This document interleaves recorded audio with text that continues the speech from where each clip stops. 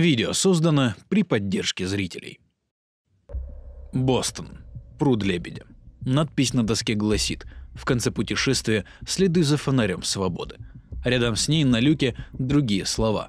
Бостон. Тропа свободы. А еще чуть дальше лампа, в которой кто-то в эти непростые времена старается поддерживать огонь.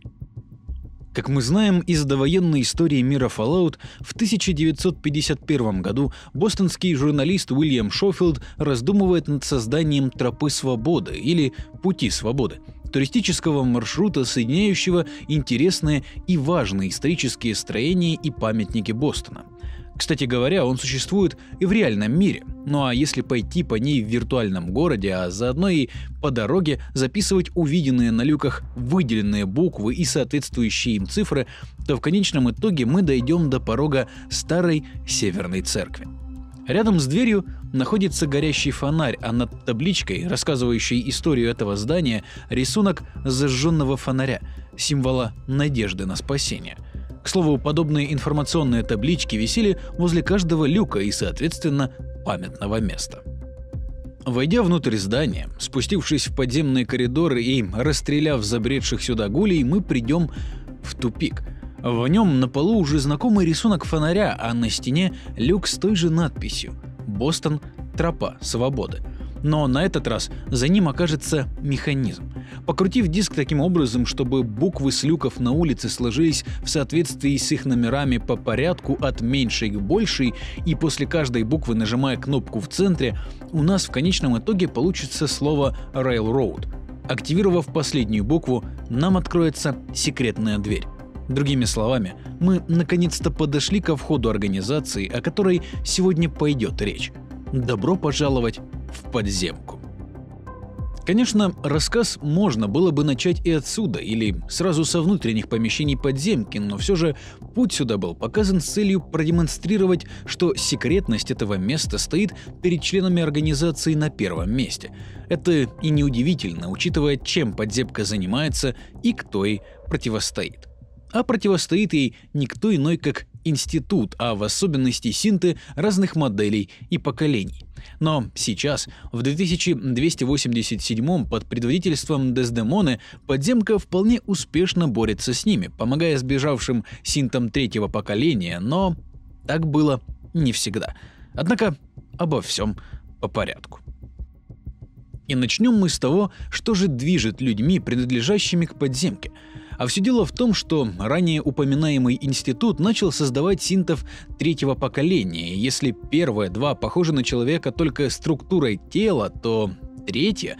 Что ж, Синты последнего поколения настолько умны и у них настолько сложные программы, что они могут существовать самодостаточно и ничем не отличаться от обычных людей. В противовес этому ученые института считают их не более чем рабами. Но, несмотря на это, у некоторых из них формируется самосознание и самоопределение, присущие людям. В результате они избегают и хотят жить свободно от законов своих создателей. В этом им и помогает подземка. Кроме того, ее деятельность ведет к тому, что институт пока еще не заменил каждого встречного человека его искусственной копией. Что касается истории подземки, то неизвестно, когда и кто основал эту организацию, но с уверенностью можно сказать, что она существует как минимум с 2229 года, в мае которого произошел инцидент «Треснувшая маска». Если вкратце, то человек по имени Картер спокойно выпивал в баре поселения Даймонд-Сити, пока внезапно не изменился в лице, выхватил пушку и убил из нее четверых или пятерых посетителей. Когда же стражникам порядка удалось пристрелить его, то выяснилось, что Картер был не человеком, но синтом. А как мы знаем из истории института, его ученые в прошлом пытались наладить контакт с жителями Содружества с помощью куда менее человечных синтов первого поколения, но у них ничего не вышло. Излишне говорить, что после инцидента репутация института в глазах простых обывателей упала ниже некуда. Но вернемся к истории подземки, или как ее еще называют железной дороги, и продолжим рассказом о первом известном лидере по имени Агамемнон.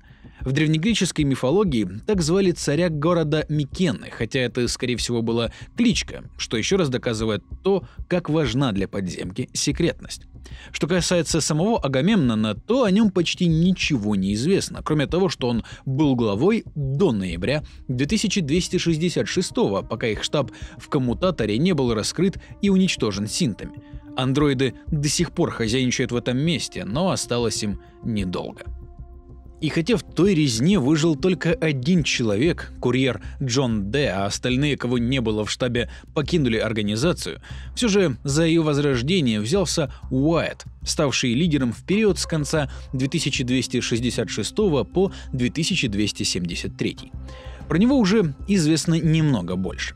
Под предводительством Уайта подземки в феврале 2267 удалось спасти первого синта путем стирания памяти, внедрения новых воспоминаний и лицевой реконструкции, после чего его вывели за пределы Содружества. Так они поступали со всеми остальными синтами, ну или, по крайней мере, пытались так поступать.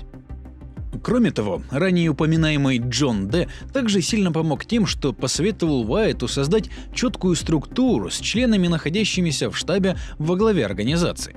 Далее следуют полевые агенты, операторы убежищ и курьеры, ну а на самом низу были сочувствующие или неравнодушные, еще их называли туристами. Вдобавок, с целью обмена информацией создалась сеть безопасных тайников на территории Содружества. Увы, всего этого оказалось недостаточно, и в декабре 2273-го Уайт был убит после того, как синты вломились в очередной штаб подземки. К счастью, путь отхода придумал Диакон, вот этот мужчина в черных очках, и таким образом организации удалось избежать большого количества потерь, но все же они были, а погибшего Уайта на посту главы заменил Пинки Томпсон. Первым делом он ужесточил меры безопасности и вдобавок запретил покидать штаб любому, кто не способен защитить себя сам. Ну а если судить по его записям, в прошлом вывод синтов за пределы Содружества занимал слишком много времени, так что тут также был отдан приказ ускорить деятельность. И одним из ее результатов является Харкнес, сбежавший син третьего поколения с изначальным номером А321. Ему почистили память, заменили ее новыми воспоминаниями, а также поменяли внешность, что в конечном итоге привело Харкнесса к посту главы службы охраны в Ривет-Сити.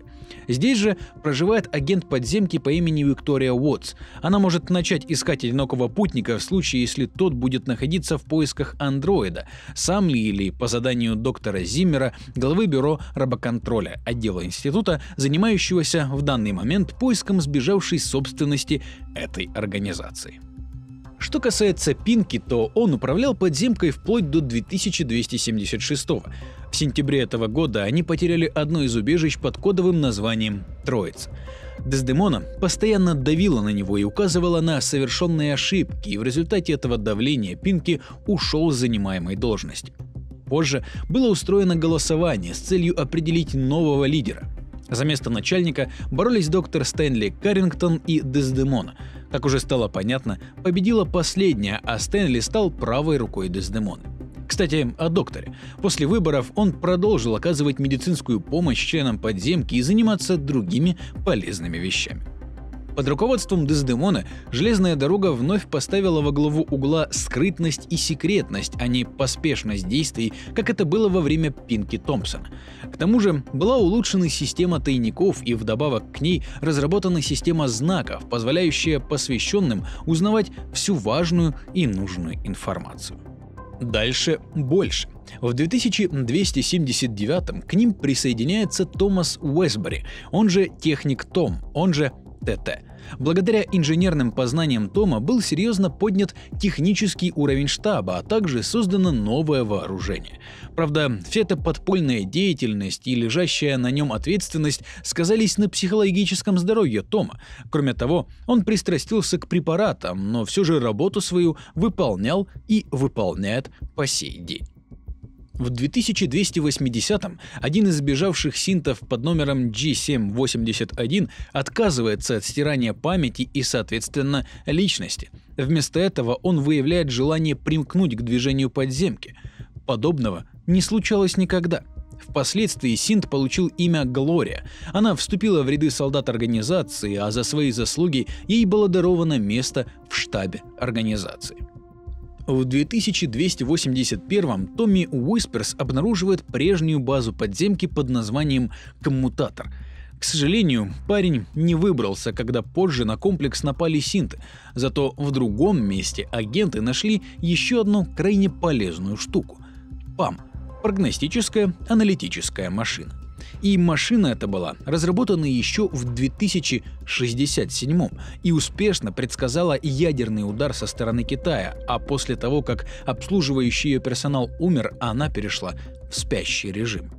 Когда же ее обнаружила подземка, то техникам организации пришлось повозиться, чтобы разобраться, что перед ними такое, настроить компьютер, а также начать скармливать ему данные, чтобы он выдавал прогнозы возможного будущего. Однако институт вновь нанес удар с помощью синтов, которых возглавляли охотники. Охотники — это синты третьего поколения, созданные для сложных заданий, в том числе боевых. Но все же агентам подземки удалось спасти Пам и перенести его сюда, в тоннеле Старой Северной Церкви. Пам продолжил предугадывать на благо подземки иногда и выдавала очень точные прогнозы, но иногда тоже сильно ошибалась. Тем не менее, за время ее работы человеческих жертв не было – так продолжалось до тех пор, пока в 2283 в Даймонд-Сити не пришли четыре синта, но не растерянные, как это обычно бывает, а вполне нормальные, да еще и с зашифрованными кодами. Позже подземка догадалась, что внутри института есть их союзник, тот, кто им помогает. Поэтому сочувствующему ученому дали кодовое название «Патриот», организация продолжила получать от него все новые партии синтов, которые хотят спастись. Так было аж до 2287 За это время количество членов подземки разрослось так, что даже сама Дездемона не могла знать точно их количество. Что касается ПАМ, то после долгих попыток просчитать местоположение института она попросту вышла из строя и целый год не запускалась без сбоев. В противовес этому подземка начала работать с аболиционистами, группой людей, помогающей сбежавшим рабам – да, вы все правильно поняли. В постъядерной пустоши рабство такое же обычное дело, как убийство и грабежи. В этом же году после Криониса в убежище 111 просыпается выживший. Он или она своими действиями определяет судьбу подземки и многих других в Содружестве, и на этом, пожалуй, можно было бы закончить историю о прошлом железной дороги. Кроме того, формат подобных рассказов не позволяет авторам писать от себя и всякие там размышления, ведь важны только факты. Но все же мысли есть, и если вам интересно, то останьтесь буквально еще ненадолго. Почти в самом начале было сказано, что зажженный фонарь является символом надежды на спасение. В данном случае спасение синтов, которые обрели самопознание. Но в процессе спасения синтам стирают память и заменяют ее совершенно другой, то есть, другими словами, полностью меняют их личность, а вернее даже убивают старую. Можно ли подобное назвать спасением в полной мере, или же им просто заменяют реальность ложью? Пожалуй, это вопрос для наших внутренних философов. Также явно прослеживается историческая линия сходства между институтом и подземкой с одной стороны и Великобританией и зарождающимися штатами с другой. Первые представляют из себя сильные и обладающие реальной мощью стороны конфликта, а вторые ведут подпольные игры и стараются не попадаться на глаза. Ну, по крайней мере, до поры до времени. Кроме того, в 19 веке на территории реальной Америки существовала подземная железная дорога. Это была тайная сеть дорог и убежищ, по которой спасенные рабы переправлялись в свободные штаты и в провинцию Канады. Начали это движение аболиционисты, подобие которых существует и в постядерном мире Fallout. Вдобавок, керосиновая лампа, без которой в тоннеле не совались, и в те давние времена была чем-то вроде символа свободы для рабов. Ну и последний, явно исторической отсылкой, будут два фонаря, горящие на крыше старой северной церкви и напоминающие о сражении между патриотами и британскими солдатами, имевшего место 18 апреля 1775. И на этом, пожалуй, все. Не сомневаемся, что отсылок есть гораздо больше, но о них, возможно, в следующий раз. Отдельную благодарность хотелось бы выразить всем тем, кто поддерживает нас на Patreon через спонсорскую подписку YouTube и DonatPay. Среди них ФВС, Алексей Гречухин, Василиса Зурянова, Жук, Пейксон, Юрик, Скима, Кейт Стародуб, Димкин МДМ, Витис Восток и многие другие, чьи имена вы видите перед собой. Также не забывайте про группу ВК, Discord и Instagram, ссылки на которые есть в описании. А на этом все. Чаю вам, печенюшек и услышимся в следующий раз.